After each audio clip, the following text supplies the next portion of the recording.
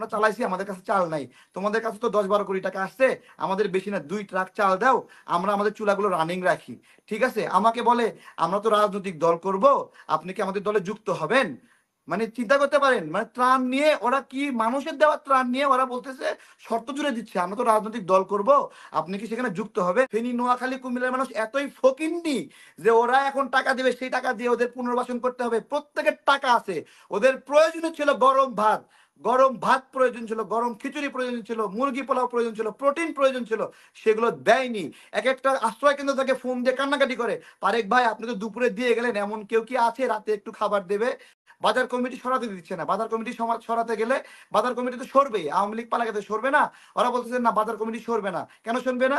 বলতেছে বিএ আওয়ামী লীগ যে বিএনপি দখল করবে এরকম একটা টেন্ডেন্সি বাজার কমিটি তো এখন যখন বিএনপিরা যখন যাচ্ছে বাজার কমিটি করবে তখন ওদের তো মিডিয়া হাসিনার মিডিয়া গুলো আছেই। মিডিয়া টিভি গুলো আছে, সবই তো রেডি আছে। তখন এই সমন্বয়করা প্রচার করে দিচ্ছে যে বিএনপির ওরা চাঁদাবাজি করতে গেছে এখানে। ত্রাণ কার্যক্রমে আপনার হলো গিয়ে সেখানে তারা ত্রাণ বিতরণ করে না, রাস্তায় ফেলে রেখে চলে আসে। ভিডিও টিডিও সব আছে। আমি নিজে তেরো চোদ্দ দিনে সেখানে ছিলাম। ওরা কি করে? সদরে গিয়ে ত্রাণ ফেলা রেখে চলে আসে। আমরা বললাম, তোমরা এগুলো নেও না কেন? এগুলো নেও না হয় আমাদেরকে দাও। আমরা আমরা বিতরণ করি, আমাদের লোকজন আছে। বিএনপির মঞ্জু ভাই, ফেনী জেলাতে, সে কি বলছে? আমি আপনাকে শুনি, আমি ছিলাম ওখানে। সেখানে বলতেছে যে, এই ত্রাণ আমি সদরের ভিতরে বিতরণ করতে দেব না। সদরের ভিতরে পর্যাপ্ত ত্রাণ আছে। আমার কয়েকটা উপজেলা আছে, সেই উপজেলাগুলোতে ত্রাণ যাবে। এই তোমরা ট্রাকে ওঠো গাড়িতে, এখান থেকে ত্রাণ নিয়ে যাও। ত্রাণ নিয়ে যাও, যত বন্যা হোক, যত রাস্তা ভাঙ্গা হোক, সেখানে গিয়ে পৌঁছায় দাও। ত্রাণগুলো। এই এই হুম, সাহসী ভূমিকা পালন করার কারণে বিভিন্ন জায়গায় ত্রাণ পৌঁছানো সম্ভব হয়েছে মঞ্জু ভাইয়ের ফেনি ফেনিতে ফেনি বিএনপি। অবশ্য সেই মঞ্জু ভাইকে বানাইছে কি জানেন? ত্রাণ ছিনতাইকারী বানাইছে। যে সাহসিকতার সাথে সদরের ত্রাণগুলো বন্টন করে উপজেলাগুলো পাঠানোর উদ্যোগ নিল, জোর করে ধমক দিয়া তাকে বানাই দিছে। এই যে আর একটা মহিউদ্দিন রনি আছে না, এই মহিউদ্দিন রনি এই শয়তানটা এই কাজটা করছে। মঞ্জু ভাই, উনিও এখানে প্রান্তিক পর্যায়ে ত্রাণ পাঠানোর ব্যবস্থা করছে এটা ওখানে যায় বানাইছে, এর ত্রাণ ত্রাণ ত্রাণ চোর বানাইছে, ত্রাণ ছিনতাইকারী বানাইছে। নোয়াখালীতে সেম একই ঘটনা ছিল, একই ঘটনা ঘটছে। ওনারা প্রান্তিক পর্যায়ে ত্রাণ নেওয়ার চেষ্টা করছে। এই এরা তো বন্যার মধ্যে যাইতে চায় না, ভয় পায়। এরা তো জীবনেও স্বেচ্ছাসেবক ছিল না। স্বেচ্ছাসেবক ছিল না, স্বেচ্ছাসেবী করতে ভয় পায়। ওখানে ত্রাণ ফেলে রেখে আসে ওই ত্রাণগুলো ওখান থেকে যেন না ফেলে ওই ট্রাককে জোর করে থাপড়ায় নিয়ে গেছে যে তুমি যাবি না কেন চল অমুক এলাকা যেতে হবে।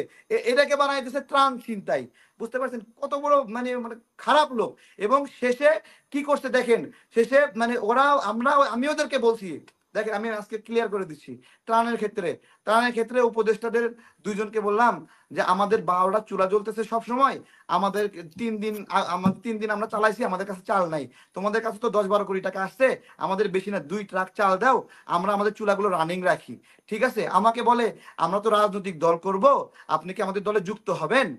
মানে চিন্তা করতে পারেন মানে ত্রাণ নিয়ে ওরা কি মানুষের দেওয়া ত্রাণ নিয়ে ওরা বলতেছে শর্ত জুড়ে দিচ্ছে, আমরা তো রাজনৈতিক দল করব, আপনি কি সেখানে যুক্ত হবেন? মানে আমার, আমি আমি বলছি আমি একটা ছোট রাজনৈতিক দল করি, আমার দলটাও ভেঙে গেছে। নুরুল হক নুরের একটা অংশ, আমার একটা অংশ।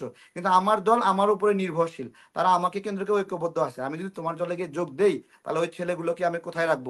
তুমি কি ওদেরকেও আমার মতো পদায়ন করবা? তা তো করবা না। আমি সামাজিক যোগাযোগ মাধ্যমে আমার কথা শোনে, আমার কিছু টাকা পয়সা ব্যবসা বাণিজ্য করি।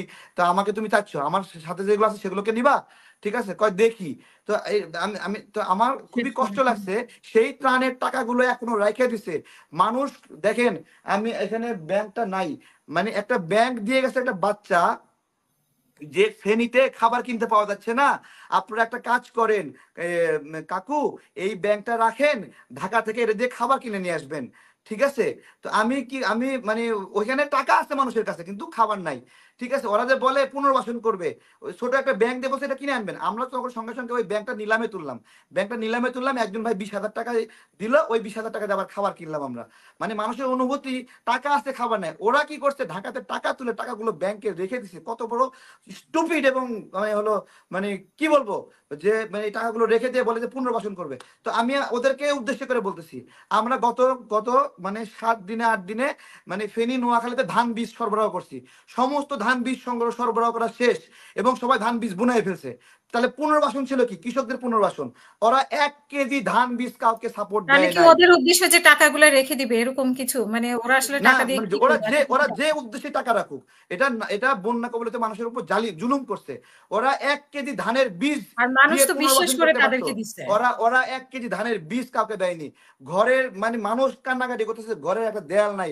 ওরা এখন পর্যন্ত টাকাগুলো খরচ করে নাই। টিন ওরা পারতো যে দুই ট্রাক টিন নিয়ে যায় সেখানে গিয়ে মানুষকে দিতে পারতো। একটা টিন দেয় নাই। ওদের পুনর্বাসনের উদ্যোগ নিতে আরও কবে লাগবে? ফেনী, নোয়াখালী, কুমিল্লার মানুষ এতই ফকিন্নি যে ওরা এখন টাকা দেবে, সেই টাকা দিয়ে ওদের পুনর্বাসন করতে হবে। প্রত্যেকের টাকা আছে। ওদের প্রয়োজনীয় ছিল গরম ভাত। গরম ভাত প্রয়োজন ছিল, গরম খিচুড়ি প্রয়োজন ছিল, মুরগি পোলাও প্রয়োজন ছিল, প্রোটিন প্রয়োজন ছিল, সেগুলো দেয়নি। এক একটা আশ্রয় কেন্দ্র থেকে ফোন দিয়ে কান্নাকাটি করে, তারেক ভাই, আপনি তো দুপুরে দিয়ে গেলেন, এমন কেউ কি আছে? রাতে একটু খাবার দেবে? তখন আবার রাতের জন্য আগুন জ্বলাই আবার আবার রাতে খাবার দিয়ে আসি। এগুলো এগুলো এগুলো বলতে পারব না। আমি নাগরিকদেরকে উদ্দেশ্য করে বলছি, আপনারাও জুলুম করছেন। আপনারা আপনারা সমস্ত টাকা দুই তিন জায়গায় দিয়া বন্যা কবলিত মানুষের প্রতি জুলুম করছেন আপনারা। এটা যদি স্বেচ্ছাসেবিক একশো সংগঠনের মধ্যে ভাগ করে দিতেন একশোটা সংগঠন তাদের মতো করে কাজ করতো। আপনারাও জুলুম করছেন আপনারা ভাইরালের পিছনে ছোটেন। এই ভাইরাল হওয়ার জন্য কানের দুল খুলে দিচ্ছেন আমার কথা যেই কানের দুল খুলে দিল আমাদের মায়েরা বোনেরা টিএসসি তে গিয়ে সেই কানের দুলগুলো এখন কোথায়? সেগুলো কোথায়? এগুলো এগুলো কানের দুল যারা খুলে দিছে তারাও দোষী। যারা কানের দুলগুলো নিয়ে জমায় রাখছে তারাও দোষী। এই আর কি। অসংখ্য ধন্যবাদ।